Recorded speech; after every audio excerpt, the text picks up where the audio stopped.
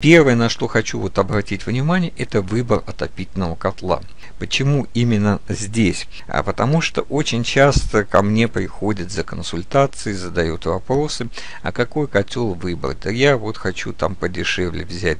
Э, так вот, я хочу просто вам для сравнения показать, как видите, здесь в цифрах все есть. Так вот, выбор котла. Предположим, стоит выбор газового котла, напольный, либо настенный. То есть есть, конечно, современные и напольные котлы уже полностью укомплектованные. Ну, я возьму вот для примера обычный старый напольный котел на базе Дон, либо такие вот универсальные котлы. И возьму для примера любой настенный котел с средней ценовой политики. Тут э, стоимостью от 16 до 25 тысяч. Они все практически в этой ценовой политике, начинающие котлы от 24 киловатта мощности. Так вот, в чем здесь заключается подвох? То есть, если вы выбираете настенный котел, то в нем уже существует все необходимое для работы любой отопительной системы. Что я подразумеваю?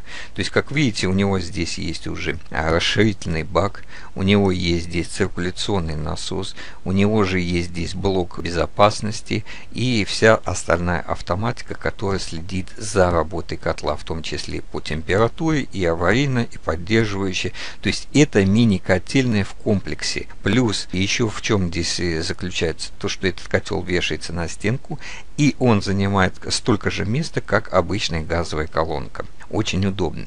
Если же вы выбираете котел, вот эти цифры не случайные, я специально посмотрел прайс-листы производителей, то есть, предположим, той же самой мощностью, как и вот этот настенный котел, да, в 24 киловатта, но здесь бралось 20 киловатт тепловой мощности, а сам котел стоит 19 500. Может быть, вы найдете и подешевле.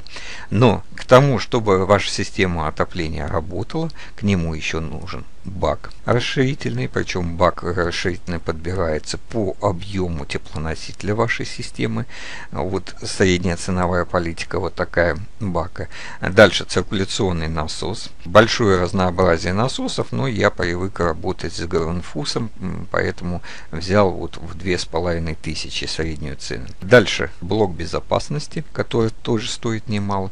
И в итоге вы получаете ту же самую, вот если здесь сравнить по максимуму, вы получаете такие же цифры.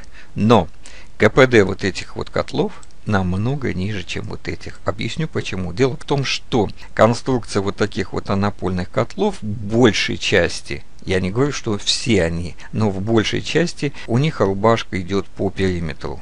То есть вот здесь вот э, водяная рубашка, где заходит теплоноситель. А здесь вот э, горелкой э, нагревается. И только боковым, так сказать, теплом нагревается эта рубашка. И, естественно, в рубашке нагревается теплоноситель. Остальное все вылетает в трубу хоть и пишут у них, что КПД там довольно-то высокое, но у меня был просто такой котел, и, так скажем, порядка 30% вашего отработанного газа вылетает просто-напросто в трубу, в улицу. Э, для сравнения я вам скажу, что у меня стоял первоначально котел Дон 16, вот именно такой же модификации, то есть 16 киловатт тепловой мощности. Потом я заменил его вот на такой, э, уже 24 киловатт тепловой мощности, причем здесь, кроме системы отопления, есть еще система ГВС. То есть, э, как газовая колонка встроенная.